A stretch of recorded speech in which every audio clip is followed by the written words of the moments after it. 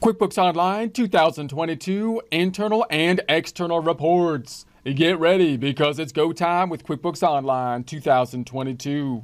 Online in our browser, searching for QuickBooks Online Test Drive. Going into the test drive, selecting the United States version of it, and verifying we're not a robot. Sample company, Craig's Design and Landscaping, holding control. Scrolling up just a bit to get to that 125%. We also have the free 30 day trial version open just so we can take a look at the business view as compared to the accounting view. If you don't have access to this, that's okay. We're just using it for a reference at this time. Back to the sample company. Let's open up a few tabs up top by going to the tab up top, right clicking on it, and duplicating the tab. Go back to the tab to the left right click on it again and duplicate the tab again as that is thinking.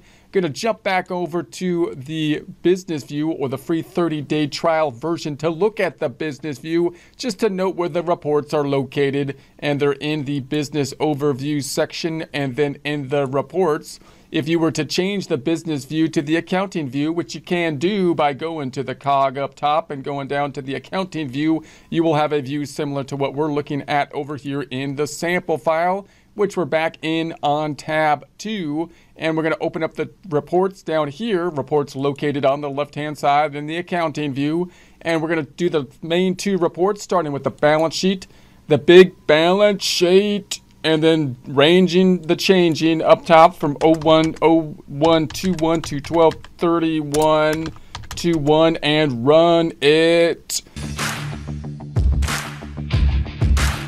Closing the hamburger. Going to the next tab to the right, and we're going to go down to the reports once again. And this time, open up the P to the L, the profit and the loss report do the ranging of the changing, the range change up top from 01, 01, 21 to 12, 31, 21, and run it. Closing up the hamburger again. Now, these two reports are our major two financial statement reports. So I want to kind of get an idea of what is going to be an internal type of report or what we might think of as reports that are going to be used internally and the external reports and the external reports are kind of the things that we would most likely be presenting if we're in a situation, for example, as a bookkeeper presenting the reports to a client, we would probably be presenting them together at the end of the month, the end of the year, end of the quarter, and so on and so forth. So obviously the main two reports are going to be the balance sheet and the income statement. We did variants of the balance sheet and the income statement, including having a side-by-side comparison, vertical analysis, horizontal analysis.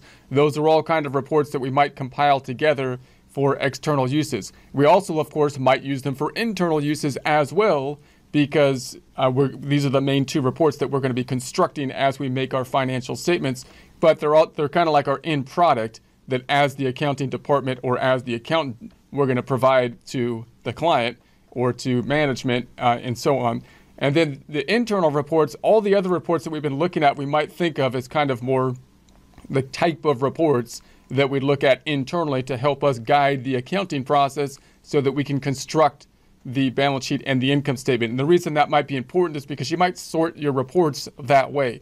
For example, you might have a balance sheet and an income statement, one for external use, one for internal use, as we saw in the past uh, discussing that you might basically memorize your reports in the format that you like to see them in terms of an external report, the way you want to present the reports to your uh, clients, and in terms of internal reports, the way you want to see them so that you can then uh, uh, enter data and check to see that that data has been input into the reports properly.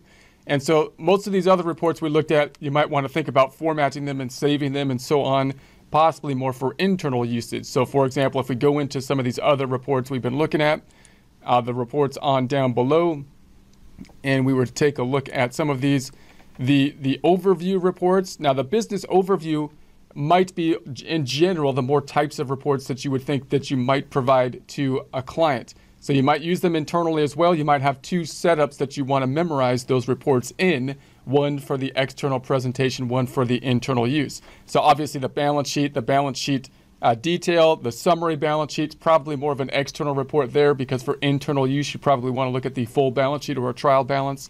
The standard balance sheet, the business snapshot, the profit and loss percent of totals, probably something that we could present externally. Could be a good thing to give to management and you know profit and loss uh, com- comparison, profit and loss detail, profit and loss year to date, profit and loss customer, profit and loss by month profit and loss and a quarterly profit and loss summary as well as a statement of cash flows. All those are basically end result types of reports which we can use internally and will, but those are kind of like the end products that we would kind of think. Now, all the other reports as we talked about are typically those supplemental type of reports that we're giving more detail into some line item on the financial statements, balance sheet, or income statement, or possible multiple line items.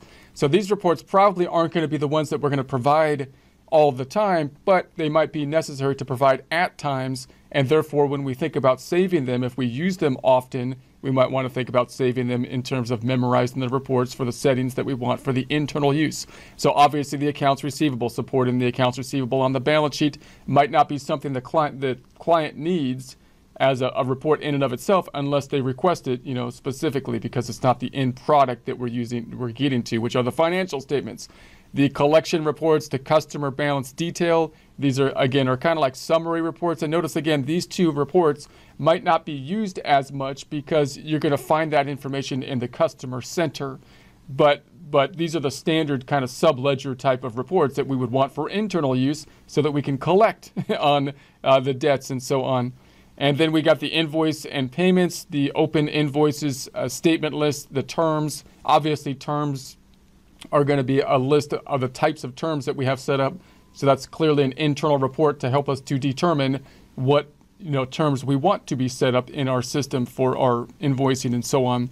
Unbilled charges and unbilled time, obviously those are internal reports as well because they're representing the unbilled items that we could then be billing in the future. So they're reports to help us with the functionality of entering transactions, not for end representation that would be the end product of the balance sheet and the income statement. The sales and customers, customer contact list is obviously an internal report because we're using that. You know, again, we might provide that to a, a client or management if they ask for it, but it's not something that we would typically be putting in terms of our financial reporting uh, generally. So deposit detail, that's kind of a basically a detailed list of the deposits. And again that's more of an internal thing typically. Estimates and uh, progress invoicing estimates by customer. So these estimate kind of reports are typically internal. They don't even have an impact on the end product the financial statements they're there to use to try to facilitate the process of the business of course.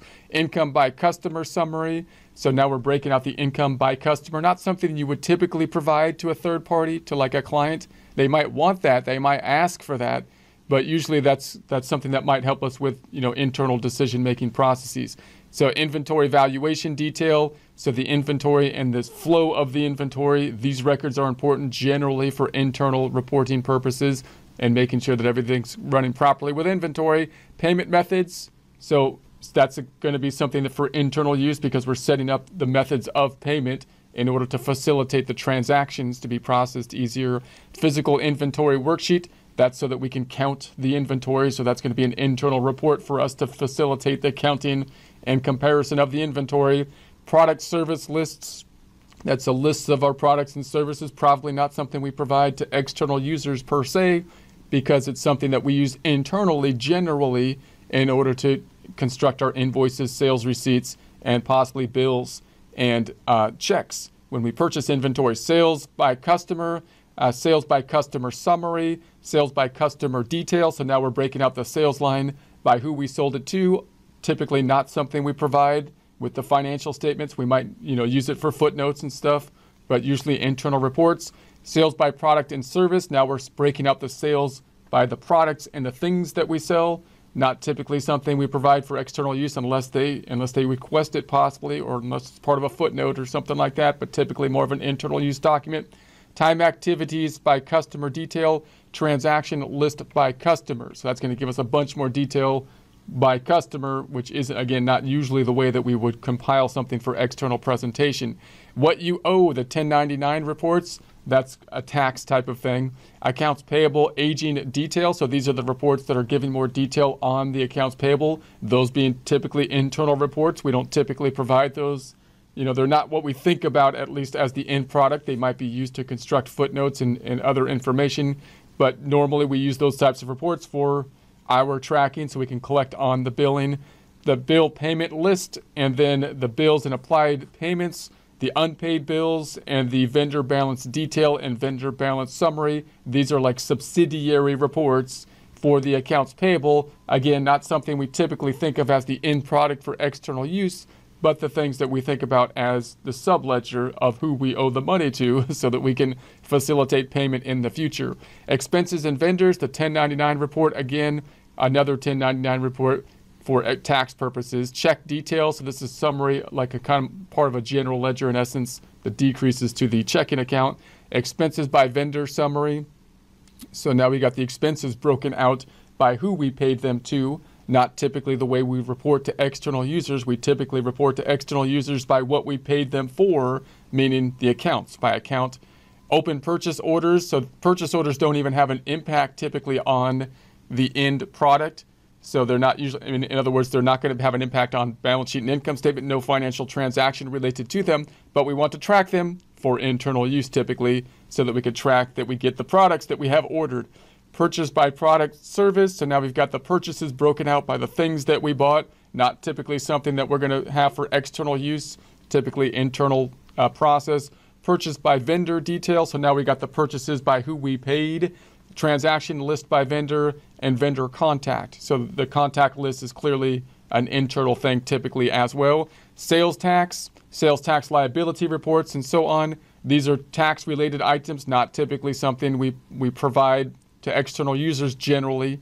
Uh, it's something that's going to give us more detail to make sure that we're doing our sales tax properly and reporting the sales tax payable uh, in the way it should be done employee, uh, all these employee payroll forms. I won't get into them in detail, but typically those are going to be the internal reports that are helping us to facilitate payroll and all the obligations related to it from HR to tax withholdings and so on. And then we've got the accountant reports, which you can kind of tell by the name are typically going to be kind of internal type of reports that are going to help us with the facilitating of the transactions. We've got the list of accounts. That's going to be the kind of the general ledger the balance sheet compilation. Now these two, these are also up in the top section, so the, I don't know why they put them down here too, because they were up top. But the general ledger, that's going to be all of the accounts and all the details. So typically an external user isn't going to want all that information, but uh, an accountant might want to dig through it.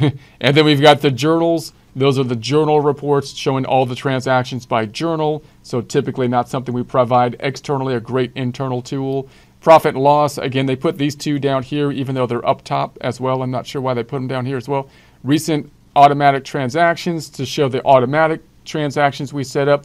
Recent transactions, uh, reconciliation reports, like bank reconciliations, for example. Those are internal control type of reports, typically for internal use.